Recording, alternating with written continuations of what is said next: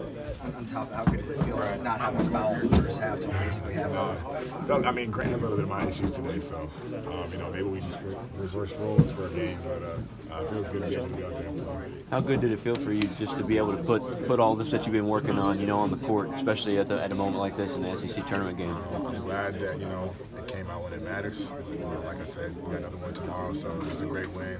Um, celebrated for over here. We got to get some rest and get ready for tomorrow. So.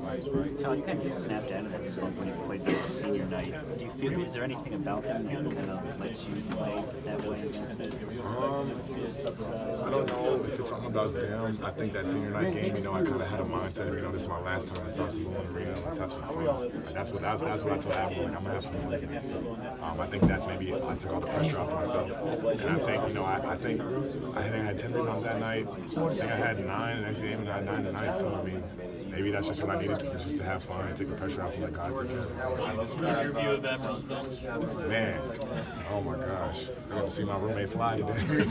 no, that was big time. And I just, I mean, I just, I, I was just walking beside him, telling him he's an animal the whole time. It was, it was remember about the two meetings with Kentucky and how much you look forward to having third one? I'm good. Um, the, the first game was more in their favor. Uh, the second game was a little more in our favor. So, you know, this third one's going to be interesting. And I know that everybody in this room is ready to compete tomorrow. Was it hard not to look forward to a possible third? Like look past Mississippi State or look forward to what could be tomorrow before this game? Oh, oh, oh. Um, no, I mean, like I, I, it's a pretty mature team. We're more of like a one game at a time mentality. So we, we had to handle Mississippi State now. Did you have that feeling though throughout maybe that, that y'all were going to see Kentucky again? Uh, yeah, you always have that feeling. You know, um, I remember people saying, you know, we could see them two more times possibly. So you never know what's going to happen. Thanks. What do you think the key is tomorrow to, to get another win? We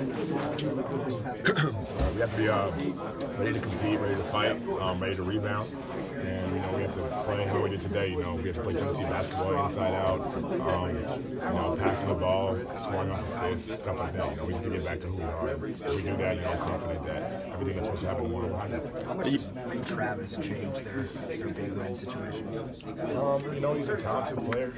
Um, they recruited him for a reason. So, you know he's out there for a reason, and you know we'll be ready. We're going to scout. We're usually scout. We'll be ready to play. So you you kind of anticipated a third matchup with Kentucky was going to be on the horizon even before? Was that something y'all were thinking about, or? Um, you know, like I said, we're more of like a one game at a time team, but there's always, you know, there's always that speculation that you know you could play teams again, you know, in the in the postseason. So, it's the first time since January you guys have had eight players log double-digit minutes. How, eight? Yeah. How big was it for Fulkerson and Pons to play that way, especially since you know maybe you guys haven't had the depth you guys have wanted these last? Uh, it's big time because you know we're about to play three games in three days um, hopefully.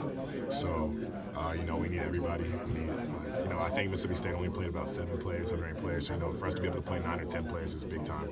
Um, and so we need all the bodies we can get if we want to play fast and play the way we want to play. So it's, it's we needed them to, to be back to where they, you know, we know what they can be. So. Can you talk about your ability to contribute tonight and, and the effort uh, out there? That's it's huge for this team when you're able to do that. Yeah, um, you know, I know that you know when I'm at my best, it helps this team, and um, you know, I'm just I'm just glad that I'm just you know I'm just glad I was able to pull it out tonight and just and just do what I was what I did tonight for my team. You know, and I, I you know just gotta pray that I can do it again tomorrow.